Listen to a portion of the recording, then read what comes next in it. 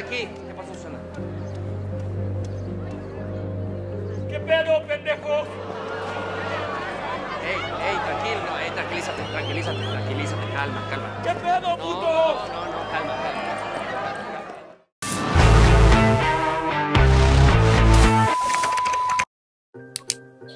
Pues justo lo mencionas, fue primero empezar a ver testimonios de personas que hayan sufrido bullying en los colegios y pues fueron casos muy reveladores porque hay cosas este, pues muy impactantes, ¿no? O sea, desde casos que terminan en el suicidio o cambiándose de plano de ciudad, ¿no? De estado.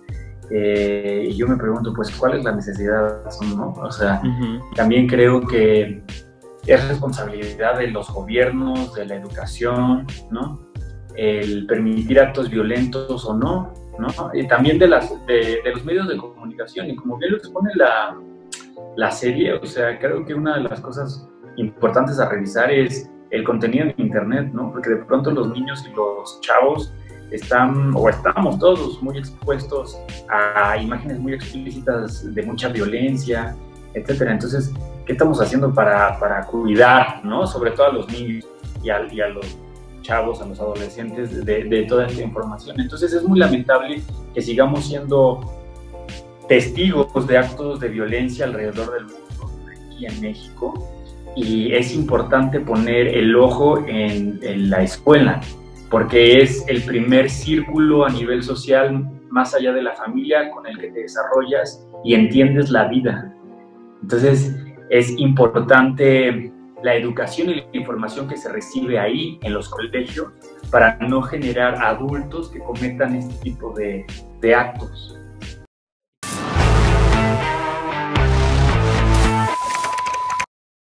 Digo que yo me siento muy afortunado en ese sentido porque un actor y un artista no puede perder de, de, vista que también tiene una función social muy importante. Y en el caso particular de los actores, pues servimos como un espejo para la sociedad, para que el espectador se confronte a sí mismo y vea sus actos eh, y sus comportamientos y ahí pueda empezar a gestarse una transformación a través de la reflexión. Eh, entonces, me siento muy contento. A veces pareciera que a 52 años, me parece, del movimiento del 68, muchas cosas no han cambiado, ¿no? Eh, seguimos, no seguimos respetando la libertad de expresión en todos los sentidos, seguimos censurando, eh, seguimos teniendo actos de, violencia en las manifestaciones, y una de, las cosas que pedía el pliego petitorio era como este, que, no, que no estuvieran presentes en las manifestaciones el cuerpo de ganadero. Entonces, pareciera que muchas cosas no han cambiado, pero digamos, por lucha no parar, entonces hay que seguir, hay que seguir manifestándose, hay que seguir expresándose, hay que seguir eh, pugnando por lo que deseamos como sociedad, como amigos, como nación, y, y creo que de eso va. Y desde nuestra trinchera, los actores, pues es exponer, exponer tal cual, como pasa también en el Control Z, las situaciones actuales que estamos viviendo, en este caso pues, en el colegio, pero para, para reflexionar acerca de ello.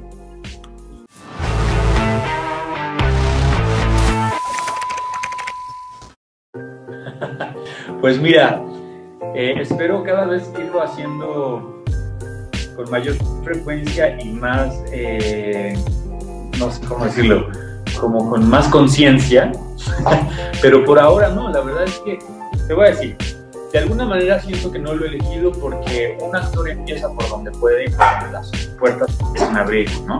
Entonces, con toda honestidad, pues yo casteo para todo, ¿no? Y de pronto, pues en unas cosas me quedo y en otras no, pero ahí siento que de, de una manera inconsciente vas eligiendo lo que quieres contar.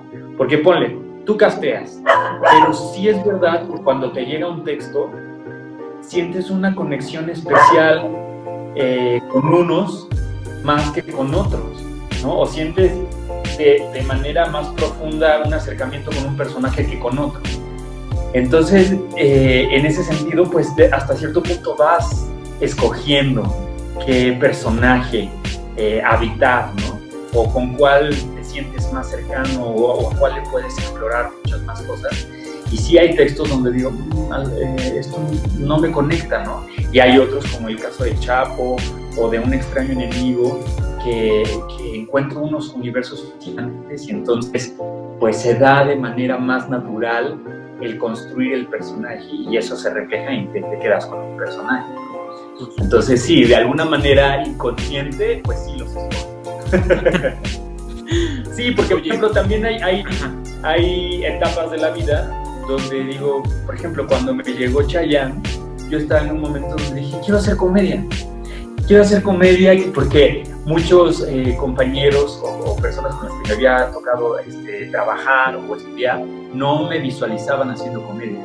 Y yo decía, hijo, no puede ser, si, si, a mí me encanta y yo soy mi potencial ¿no? con respecto a la comedia. Tenía muchas ganas y llegó de pronto y me quedé y fue una experiencia fascinante. Entonces, pues sí, como que tú, tú dentro de ti mismo sabes también qué necesitas.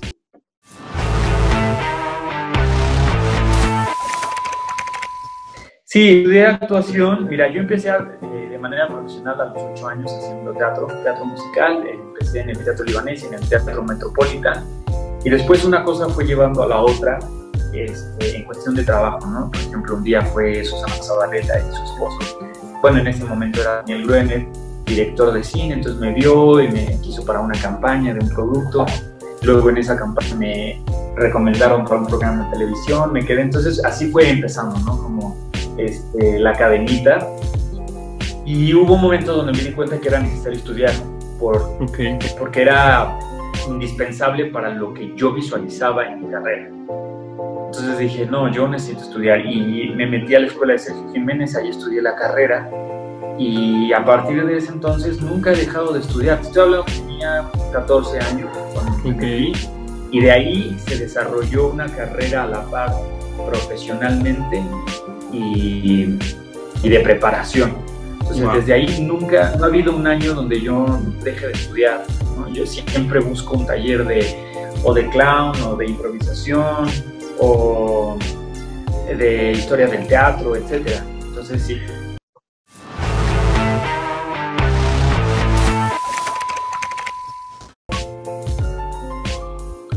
Eh, pues algo que jamás voy a olvidar es que fue un, equipo bien padre el que se formó.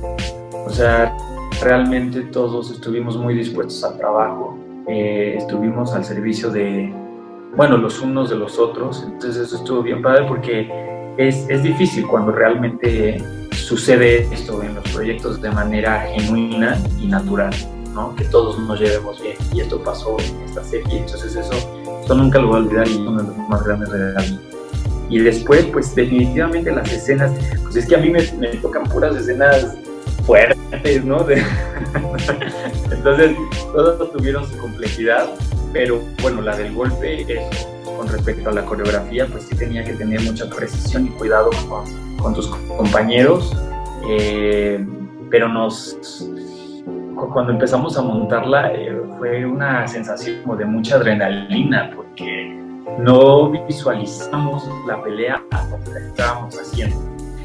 Eh, y el momento del, del, carro y cuando me saca, o sea, nos voló la cabeza, fue como wow, ¿no? Porque Cobra, o sea, justo cuando piensas que Luis ya va a emprender la huida furiosa con Javier y Sofía, la, la pelea se, se, se, vuelve más violenta y cobra otra dimensión, entonces eso a nosotros nos sorprendió y muchas de las reacciones que ves incluso por ejemplo de los extras son reales. Sí, claro. Este, porque además, por ejemplo, cuando llego justo al colegio, así empieza la escena, pues ellos no estaban enterados de cómo iba a llegar Luis. Entonces la toma y toda la reacción fue natural. Me acuerdo la primera toma como, ¡ah! ¿no? Y nadie se esperaba eso. Entonces eh, fue, muy, fue muy divertido. Eso tampoco lo voy a olvidar. Y pues es que todo, ¿no? Cuando, cuando yo corro con el perrito y, este, y el coche eh, y la del escupitajo, híjole, no sabes la impotencia, la rabia, la ira, la frustración que me causó esa escena.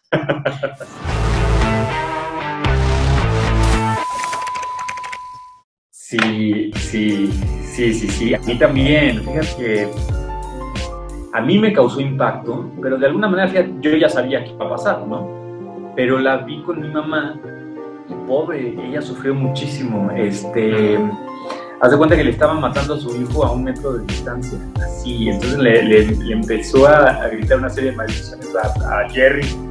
Maldito, no, tal, déjalo, desgraciado. Y, este, pero entró en crisis, o sea, empezó a temblar y empezó, o sea, como si realmente estuviera muriendo ahí delante de ella. Fue muy impresionante. Pero... ¡No, cabrón!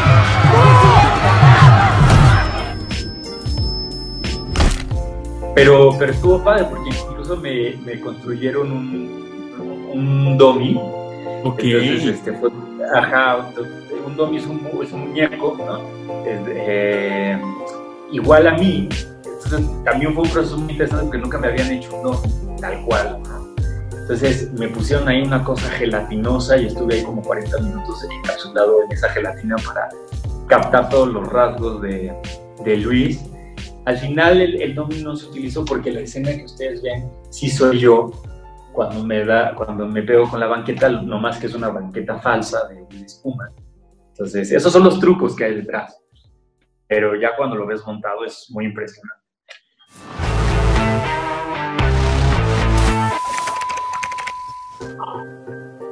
Híjole, pues es una fortuna, así lo tomo, ¿no? Como una fortuna. Eh, cuando decides ser actor, o bueno, al menos en mi caso particular, pues no. Mi, acercamiento con esto no, no, no, fue a partir de ahí, ¿no? De, ay, que, que todo el mundo me vea. Sí, sí, lo piensas, pero no es tu motivación, ¿no? no es lo que me, me invita a hacer lo que hago, ¿no? Pero sin duda cuando pasa, pues eso, lo único que te resta es agradecer eh, sentirte muy afortunado. Eh, estar en una, en una plataforma como Netflix te brinda esa posibilidad, ¿no? Que de un día a otro te conozcan en Turquía, en Arabia Saudita. Eso es una locura. Nosotros apostábamos, obviamente, por el proyecto y sabíamos que iba a ser un éxito, pero uno, no sabíamos que en tan corto tiempo. Y dos, que tantos países, incluso con culturas tan diferentes a la nuestra, como la turca o el marroquí, conectaran con nosotros, ¿no? Eh, saber eso es, eh, muy emocionante y estar en contacto con todos los fans y que te platiquen eh, cómo viven Control Z, pues, llena de mucha emoción.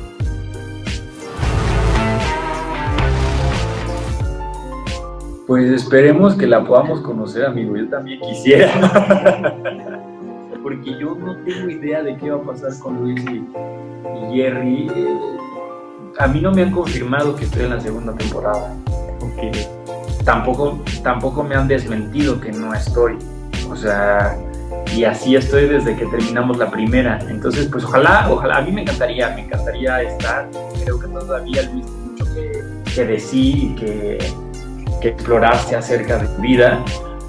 Pero pues, hola, ¿qué tal? ¿Cómo están? Soy Luis Curiel y pues a todos los amigos que siguen a los chidos de Cine Spoilers, pues los invito a que no se pierdan esta entrevista que estuvo muy padre, muy divertida y muy amena. Pues les mando un saludo.